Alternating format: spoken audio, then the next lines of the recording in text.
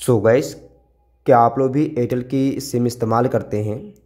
तो आप लोग भी एयरटेल के सिम में जो फाइव जी वगैरह नेटवर्क है, उसे आप कैसे इनेबल करेंगे? देखिए, सभी के फ़ोन में आ चुका है ये ऑप्शन लेकिन यहाँ से आप लोग अपने फ़ोन में फाइव जी का नेटवर्क इस्तेमाल कर सकते हैं। बड़ी आसानी से।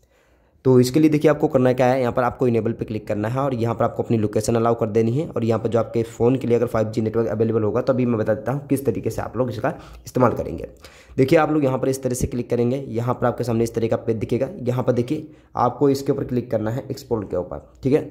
और यहाँ से आपका जो भी फ़ोन हो, देखिए जो भी फ़ोन है, मैं बता देता हूँ, मेरा वीवो का फ़ोन है तो वीवो पर क्लिक कर देता हूँ, ठीक है? वीवो पे क्लिक करने के बाद यहाँ पर देखिए आपको लॉगिन आईडी पे आना है लॉगिन स्टोर पे, ठीक है? और यहाँ पर अपना नंबर डाल के लॉगिन कर लेना है। और लॉगिन करने के बाद यहाँ पर अपना एक अकाउंट क्रिएट कर लेना है। देखिए, अगर आप पहली बार आए हैं तो पहली बार लॉगिन कर लीजिएगा अपने नंबर को डाल के। जैसे क्या, जैसे आप अपने नंबर को इंटर करेंगे तो आप लोग अपने फाइव में कन्वर्ट हो जाएँगे। लेकिन इसके लिए अगर अभी आपको जो स्पीड है, वो बूस्ट हो, होती हुई दिखाई देगी। इसके लिए आपको कुछ सेटिंग भी करनी पड़ेंगी। इसके लिए आप लोगों को मोबाइल की सेटिंग में आना है।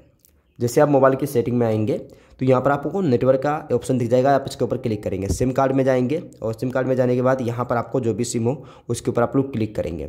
क्लिक करने के बाद यहाँ पर देखेंगे, हमारे सामने इस तरह का पेज दिख रहा है। अब यहाँ पर देखिए, नेटवर्क के आपको ऑप्शन पे क्लिक करना है। फ़र्स्ट वाला आपको सेलेक्ट करना है network four G plus three G plus two G, ठीक है? आपको इनके ऊपर क्लिक कर लेना है।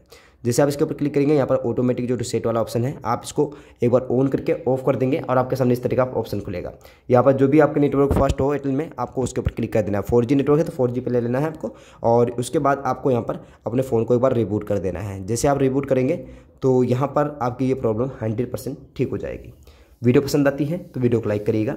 चैनल पर पहली बार है सब्सक्राइब कर लीजिएगा ताकि आपको हमारी जो भी वीडियोज़ होती हैं, वो लगातार देखने के लिए मिलती रहे। जय हिंद, जय भारत।